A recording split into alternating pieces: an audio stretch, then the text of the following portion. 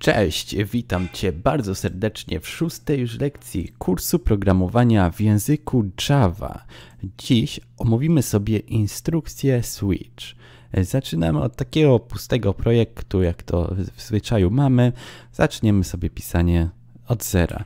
Stwórzmy zmienną pomocniczą typu integer o nazwie pora roku. Użyjemy tutaj camel case, o którym mówiłem już w pierwszym odcinku i do tej pory roku napiszemy sobie domyślnie na start wartość na przykład 1. Utożsamimy, chcemy sobie utożsamić te nasze cyferki od 1 do 4 z odpowiednimi porami roku. Jasnym jest, że jedynka będzie odpowiadała wiośnie i tak dalej. Dwójka latu i tak dalej. Mm, można by to zrobić teraz na ifach i elsach, to co poznaliśmy w poprzednim odcinku i tą naszą porę roku kolejną porównywać tymi konkretnymi wartościami. To jednak nie po to się uczymy switch case'a, aby używać ifów. Poznamy dziś właśnie inną, inną możliwość tworzenia takich operacji warunkowych, ale nieco bardziej ograniczonych. Powiem tak, switch przydaje się w specyficznych warunkach, ponieważ każdy switch można rozbić na ify i elsy, jednak czasem czytelność jest trochę gorsza, ale już w case'ach nie zrobimy zawsze dokładnie tego samego, co możemy zrobić w ifach i, el, w ifach, w ifach i elsach. Nie wszystko jesteśmy w stanie wtedy zrobić po prostu. Zacznijmy już tutaj pisanie. Naszym głównym słówkiem kluczowym, od którego musimy rozpocząć, będzie oczywiście switch z języka angielskiego ma to parę znaczeń, jednak nas najbardziej interesuje tłumaczenie na język polski jako taki przełącznik. Przełącznik to nas najbardziej interesuje, dlatego że będzie nam coś właśnie tutaj przełączał. Musimy teraz podać, do jakiej zmiennej on ma się odnosić. My sobie stworzyliśmy porę roku i tu podajemy porę roku. I on zawsze się odnosi do tej jednej konkretnej tutaj zmiennej, więc już widzimy pierwsze takie ograniczenie względem ifów i else'ów. Tam nie mieliśmy takiego ograniczenia. Za switchem muszą iść nawiasy klamrowe. Zrobiłem to właśnie teraz, tak jak widzicie. Najpierw nawiasy okrągłe, do jakiej zmiany się odnosimy, później nawiasy klamrowe. I najważniejsze w switchu, czyli konkretne kolejne przypadki. Przypadek z angielskiego można przetłumaczyć na słówko case i takie właśnie też będziemy używać. Jednak za case'em idzie od razu konkretna wartość. Mm, jeżeli na przykład do przełączania naszego przełącznika, czyli switcha, używamy zmiennej pora roku, która jest integerem, zobaczcie, jedno z, każdy z kolejnego wynika, tak jak zaznaczam, switch używa pory roku, czyli integera do przełączania, to takie przypadki możemy brać tylko pod uwagę, czyli liczby no po prostu dziesiętne, liczby całkowite. Jeżeli byśmy tutaj podali jakąś zmienną imię, która byłaby zapisana tutaj jako string, to wtedy nasze case'y musiałyby mieć przypadki jako string, na przykład z poprzedniego odcinka Bartek. Zostańmy jednak przy integerach, bo to zawsze trochę lepiej widać, czyli integer pora roku, case pierwszy, co w przypadku gdy mamy porę roku pierwszą, dwukropek. Tutaj jest ważny dwukropek. Żadnych nawiasów klamrowych już tutaj więcej nie ma. Ta budowa switcha na początku się wydaje taka zupełnie jakaś rozbieżna od wszystkiego innego, co wcześniej poznaliśmy, ale trzeba się po prostu do tego przyzwyczaić. System out print line służy tylko do, do drukowania na ekran naszej konsoli. No to już, to wszyscy wiemy. Napiszemy tu po prostu wiosna. No i tak możemy stworzyć kolejny warunek dla wartości 2, czyli tak już sobie powiedzieliśmy, będzie to lato. Ja to na szybko zupełnie. Lato. Kolejny przypadek tworzymy przez case 3 dwukropek. I oczywiście jakieś instrukcje. W tym case będzie to jesień.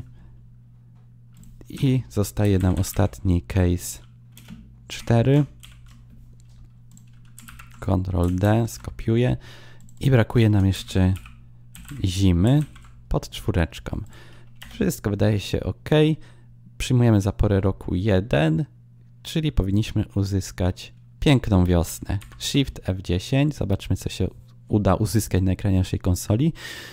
No i mała konsternacja, ponieważ mamy wiosnę, ale mamy też lato, jesień, zima. Mamy wszystkie cztery pory roku w ekranie naszej konsoli, czego nie chcieliśmy uzyskać. Dlatego, że case'y są trochę jak etykiety. Na początku trochę ciężko to zrozumieć, ale jeżeli w jeden case program już tutaj wpadnie, czyli na przykład w ten pierwszy, to nic go nie zatrzymuje do momentu no, skończenia się tej klamry, tak naprawdę, całego tego switcha. Nie ma żadnej instrukcji, która kazałaby mu przestać robić to spustoszenie. Jeżeli podamy tutaj 2, to oczywiście pominie porę roku wiosna, ponieważ tego case'a nie uda się tutaj wejść, tak kolokwialnie mówiąc, ale uda się case'a drugiego, później case'a trzeciego, czyli jesień, case'a czwartego, czyli zimę i mamy wszystkie cztery. Aby taki program, można powiedzieć, wykoleić z takiego normalnego trybu wykonywania wszystkiego z góry do dołu, trzeba użyć słówka kluczowego break. Jest to takie po prostu pojedyncze słówko, bez żadnych parametrów, bez niczego więcej. Po prostu używamy słówka break. Jest to specjalne słówko skoku. Tych słówek kluczowych skoku jest jeszcze kilka, jednak one najczęściej są troszkę bardziej skomplikowane. Tutaj w tym przypadku też wiem, że to nie są aż takie podstawy, jak były wcześniej, ale teraz na potrzeby dzisiejszego odcinka wystarczy tylko i wyłącznie, że zapamiętasz, że jest takie słówko skoku, właśnie break. Od angielskiego można sobie przetłumaczyć to jako łamać, czyli no wyłamać, wyłamać się ze standardowego przepływu programu. takiego breaka umieśćmy pod każdym case'em, bo tak będziemy chcieli najczęściej robić. Oczywiście nie jest to potrzeba, żeby tak było, ale można powiedzieć, że w ten sposób przewrócimy taką jakby zdrową, hierarchię tutaj myślenia, wykonywania się programu. Dajmy jeszcze odpowiednie wcięcia, zawsze warto trzymać program odpowiednio, no żeby to prawidłowo wyglądało z odpowiednimi tutaj wcięciami. Przypominam też o komentarzach, które są dość ważne. Pisząc na przykład z kimś współpracy jakiś program, warto tutaj oznaczyć, co tak naprawdę dana linijka kodu może robić. Tak, na marginesie mówiąc, pamiętamy o komentarzach. Dobra, teraz już podając na przykład porę roku 2, czyli wiosnę, sprawdźmy też w ekranie naszej konsoli, yy, przepraszam, dwójka odpowiada latu, mamy tylko lato, no i tak będzie w każdym innym przypadku, trójka tylko jesień i tak dalej. Po napotkaniu breaka nic więcej się już nie dzieje, też przestrzegam przed robieniem takiego czegoś, kompilator na ciebie też przed tym przestrzeże, bo do tego fragmentu kodu nie jesteśmy już się w stanie w żaden rozsądny sposób po prostu tutaj dostać już z góry wykrywa, że do tego miejsca po prostu nigdy on nie dojdzie po słówku kluczowym break. Tak więc taka konstrukcja jest mało bez sensu, bardzo bez sensu, ale i tak kompilator nas do tego nie dopuszcza. I zostaje tak naprawdę powiedzieć jeszcze jedną rzecz, bardzo ważną w przypadku Switcha, a mianowicie, co jeżeli ktoś sobie zażartuje i poda tutaj jeszcze jakąś inną porę roku, której, jak dobrze wiemy, już takiej nie mamy, na przykład piątkę.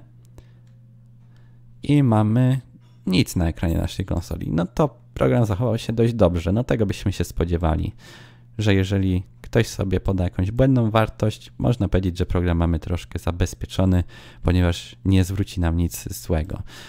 Jeżeli jednak byśmy chcieli obsłużyć jakąś wartość mm, nieprzewidzianą przez programistę domyślnie, istnieje jeszcze słówko takie wiodące, kluczowe default. No z angielskiego chyba tutaj nie, nie trzeba nic tłumaczyć, ponieważ to słówko oznacza po prostu podstawowy, tak? Podstawowy przypadek, tak można to sobie przetłumaczyć.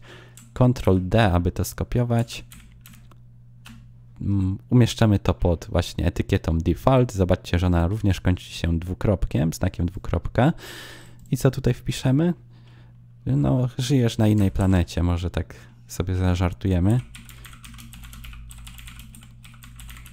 No, wiadomo, napisalibyśmy tutaj po prostu nie ma takiej pory roku. No, jakąś informację dla użytkownika, jeżeli już koniecznie chcemy. Mamy, żyjesz na innej planecie. Pora roku jest to piątka. Zobaczmy, co się wykona z tych case'ów. Tylko default. Żyjesz na innej planecie. Co się stanie, jeżeli podamy tutaj na przykład 0? Też będzie, żyjesz na innej planecie. Wiemy też, że default nie ma prawa się wykonać w przypadku prawidłowej wartości, na przykład wiosny 1, ponieważ już wcześniej napotkał jakieś słówko kluczowe break. Jeżeli takiego by nie napotkał, to default jest traktowany jako kolejna z instrukcji do wykonania. Tak więc tutaj też przestrzegam. I tutaj break już nie ma żadnego sensu. Nie wiem, czy to nie jest błąd. O, można go sobie tutaj postawić, ale i tak po defaulcie nie możemy postawić już żadnej innej etykiety, więc jest to równoznaczne. Dobra, to wszystko o tym case. On nie jest taki skomplikowany, przepraszam o switch case. On nie jest taki skomplikowany, aczkolwiek wiem, że na początku się taki może wydawać. Sam przez długie miesiące początków programowania lubiałem wszystko sobie rozbić na ify i elsy, bo było to dla mnie troszkę łatwiejsze, ale Switch może troszkę nam kodu skrócić. Czasami są takie przypadki, że ten kod jest dużo krótszy, wydaje się taki bardziej przejrzysty. Dzięki Ci już bardzo serdecznie za uwagę w dzisiejszym odcinku. Liczę oczywiście na subskrypcję, oceny filmiku oraz komentarze i do usłyszenia w kolejnych materiałach. Cześć!